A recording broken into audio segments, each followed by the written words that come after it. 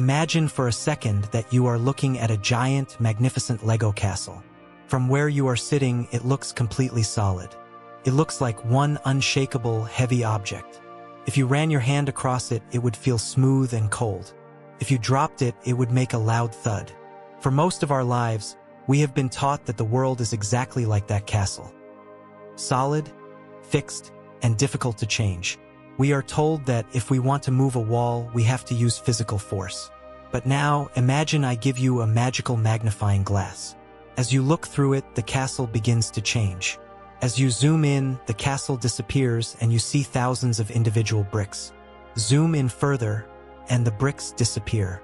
You start to see tiny, buzzing dots of light. These dots are moving so fast they look like a blur, like a swarm of bees protecting a hive. This is the quantum world. It is the basement of our reality. For hundreds of years, scientists thought the world worked like a giant clock. They thought that if you knew where the gears were, you could predict everything. They thought the world was classical, predictable, solid, and frankly, a bit boring. But then, about a hundred years ago, we peeked into the basement and realized the clock was actually made of magic. Quantum physics tells us that the world is more like a giant, shimmering soup of possibility. Everything you see, your morning coffee, the car you drive, the person you see in the mirror, is made of this soup. And here is the secret that changes everything. The soup reacts to you. It isn't just sitting there. It is waiting for instructions. Today, we are going to learn the laws of this magical soup. We are going to explain every quantum law of reality so simply that a five-year-old could understand it, but so powerfully that it will allow you to finally take the steering wheel of your life. Law 1 The movie projector, the observer effect. Let's talk about the movie projector rule. This is perhaps the most famous and mind-bending discovery in the history of science. It's called the observer effect. Imagine you are sitting in a dark, plush movie theater. On the giant screen in front of you, a movie is playing. Let's say the movie is a bit of a tragedy. The main character is struggling, they are tired, and they feel like the world is against them. Now, if you wanted to change that movie, what would you do? Most people in the real world get up out of their seats, run down to the screen, and try to scratch the image off. They try to paint a smile on the character's face. They yell at the screen, demanding that the scenery change. But you know that's a waste of time. The movie isn't in the screen. The screen is just a blank piece of fabric. The movie is coming from the projector booth high up behind your head. In a famous experiment called the double slit experiment, scientists discovered that tiny particles of matter behave differently when they are being watched. When no one is looking, these particles act like waves. They are everywhere at once, like a ripple in a pond. They are just a ghost-like possibility of a thing. But the moment a scientist points a camera at them or looks at them, they pop. They stop being a wave and they become a solid little ball in one specific spot. Your consciousness is the camera. This means that the quantum soup stays as a wave of infinite possibilities until you look at it. Your expectations, your deep-seated fears, and your daily assumptions are the film strips running through your projector. If your film strip is labeled, I am always overlooked at work, the quantum soup has no choice but to pop into a solid reality that matches that film. For the 40-plus professional, this is a revelation. It means that the stressful environment you walk into every morning isn't actually solid until you observe it. If you walk in expecting the same old problems, you are locking the particles into that old tired shape. Manifestation is the act of going into the projector booth, taking out the old dusty film of how things have always been, and sliding in a new bright film of how things could be. The screen, the physical world, must follow the light of the projector. Law 2, the soup of possibilities, superposition. Now, let's go deeper into the soup of possibilities. Scientists have a fancy word for this, superposition. Imagine a giant kitchen with a massive pot of soup on the stove. Inside this soup, every ingredient you could ever imagine is already floating around. There are carrots, there are diamonds, there are new career paths, there are healthy cells, and there are wonderful surprises. In the quantum world, everything exists in a state of both slash and. It's like a spinning coin on a table. While the coin is spinning, is it heads or is it tails? The answer is it's both. As long as it's spinning, it is a blur of both possibilities. It only becomes heads or tails the moment you put your hand down and stop the spin. Your life right now is a spinning coin. In the quantum soup of your future, there is a version of you that is incredibly successful and vibrant.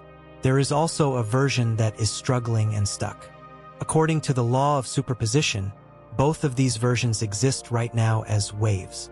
They are both equally real possibilities waiting for someone to stop the spin. Why do we keep getting the struggling version? Because of our mental habits. Every morning, we wake up and we stop the spin by thinking the exact same thoughts we had yesterday. We say, my back hurts, or I have so many bills. And pop, the coin stops on the struggle side. We do this so often that we forget the coin was ever spinning in the first place. The quantum secret is to realize that this successful you isn't something you have to go out and build from scratch. You don't have to go to a different kitchen to find different ingredients. The success is already in the soup. It's already in the room with you. Your job isn't to create it. Your job is to use your observer power to choose that specific version of the coin. You do this by feeling the version you want before the coin even stops spinning. Law 3, the invisible string, quantum entanglement. Have you ever thought about an old friend you haven't spoken to in years? Someone who hasn't crossed your mind in a decade, and suddenly your phone buzzes with a text from them? Or have you ever walked into a room and felt a heavy vibe before anyone even spoke? Most people call this a coincidence or a gut feeling. Quantum physicists call it entanglement, and it is the law of the invisible string. Imagine two tiny bells. In the quantum world, if these two bells are brought together once and then moved to opposite sides of the universe, they stay connected by an invisible, unbreakable string. If you ring the bell in New York, the bell in London will ring at the exact same microsecond. There is no delay. They don't send a signal through the air. They simply know what the other is doing because at a deeper level, they are still one. Now, let's apply this to your life. Science tells us that at the very beginning of time, the Big Bang, everything in the entire universe was squeezed into a single tiny dot. Every atom in your body, every gold coin in a bank vault, and every person you will ever meet were all touching. This means that everything is already entangled. You are not a lonely island in a big, empty ocean. You are a knot in a giant, invisible cosmic net. When you move, the whole net moves. This is the secret behind synchronicity.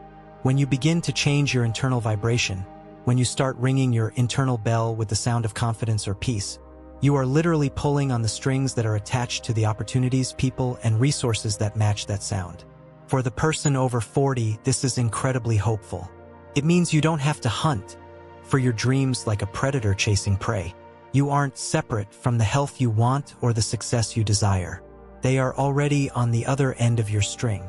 Your only job is to stop vibrating the string with fear or lack, which keeps those things at a distance. When you vibrate with the feeling of already having it, the law of entanglement begins to pull that reality toward you through the invisible net of the universe. Law 4 and 5, the magic choice and the echo hallway. Finally, we come to the most practical part of quantum reality, quantum tunneling, or what I like to call the echo hallway. In our everyday world, if you walk up to a solid brick wall and try to walk through it, you're going to get a bruise. The wall is solid and you are solid. But in the quantum basement, nothing is 100% solid. Everything is a probability. Quantum tunneling is a phenomenon where a particle can actually pass through a barrier that should be impossible to cross. It tunnels through the wall as if it weren't there. In your life, Walls are the things that look like dead ends. Maybe it's a debt that feels too big to pay, a health diagnosis that feels final, or a career ceiling that feels made of concrete. To your logical mind, these are solid walls. But the quantum law says that no wall is ever 100% solid. There is always a mathematical probability that a way through exists. The tunnel opens when you stop treating the wall like it's the only thing in the room.